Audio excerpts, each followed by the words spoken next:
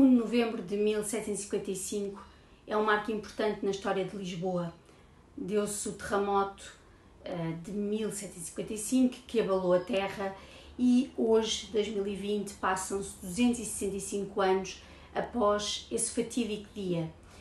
Uh, a propósito disso, e, e também com o interesse de, de, pesquisar um pouco sobre os passos do Marquês de Pombal, uh, li este livro, A Maldição do Marquês, de Tiago Rebelo, editado pelas edições Asa, que não é uma biografia do Marquês de Pombal, uh, Sebastião José de Carvalho e Mel, como era conhecido, como se chamava, aliás, mas conta a história e o contexto social, económico e social que se dava, que, que acontecia no reinado de Dom José I. E por sua vez, como o seu ministro, Marquês de Pombal, marcou todo esse reinado com a sua prepotência, com o seu interesse, com o seu calculismo, com a sua personalidade, com a sua certeza. eu achei que poderia ser que seria interessante trazer-vos este, este livro. Marquês de Pombal mudou o país e não foi preciso ter acontecido um terremoto para, para provarmos que ele mudou o país. Ele achava que uh, Portugal poderia dar muito mais ao nível económico, que poderia fazer frente a algumas potências económicas como Inglaterra e França e uh, havia, ele contra todos os seus críticos, ele realmente desenvolveu muita indústria uh, muita indústria não só de porcelanas, como também a, a manufatura, e, e, trouxe, e mesmo a, a, questão da vinha, da agricultura, ele trouxe esse, esse, esse espírito uh, e essa vontade de mudar o país. Por outro lado, ele combinava essas, essas ideias de desenvolvimento, essas ideias de desenvolvimento tinham algum, algum interesse eh, também individual, ao lerem este livro vão perceber, uh, mas ele combinava isso com as ideias do iluminismo, uh, ideias de, de, conhecimento que, uh, pela sua estadia como embaixador da corte portuguesa em Inglaterra e em Viena, ele trouxe para, para o país. Vou-vos ler dois, dois momentos.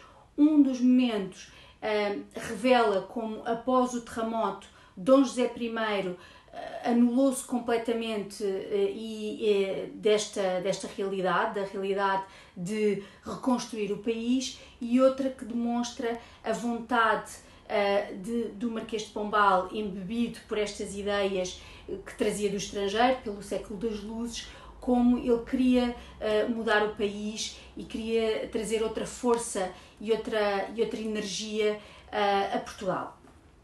Primeiro certo. Após o terremoto, Dom José recusou-se terminantemente a regressar a qualquer, um dos, qualquer dos seus palácios, onde poderia acomodar-se com a dignidade e a segurança que convinha ao rei de Portugal e Algarves. Na impossibilidade de se mover Dom José, irredutível na sua fobia às paredes de pedra, ergueu-se um complexo de tendas no Alta Ajuda em Lisboa. Na realidade, um luxuoso abarracamento de madeira. Aí haveria de morar a família real até à morte do soberano, para espanto de muitos dignatários estrangeiros de visita a Portugal, que ficavam desconcertados ao constatar que o rei vivia acampado. Segundo certo. No século das luzes, Sebastião José de Carvalho e Mel defendia acerrimamente o iluminismo, mas também o absolutismo real ele era o primeiro guardião do poder do soberano e, bem vistas as coisas, sem o rei não seria nada, porque a sua autoridade provinha de Dom José, de quem ele era, digamos, uma extensão. Assim, se casar o iluminismo com o absolutismo parecia uma contradição para Sebastião que José de Carvalho e Melo. Fazia todo o sentido juntar os dois conceitos. Haveria de derrotar os velhos do Restelo, as superstições anquilosadas da Igreja, a ignorância do povo e as exigências de uma alta nobreza que cheirava a mofo e só pretendia impedir o progresso para manter os seus privilégios.